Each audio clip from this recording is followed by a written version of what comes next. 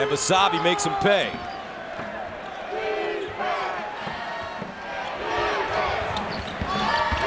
Now Apley, pow! What? Keith Apley.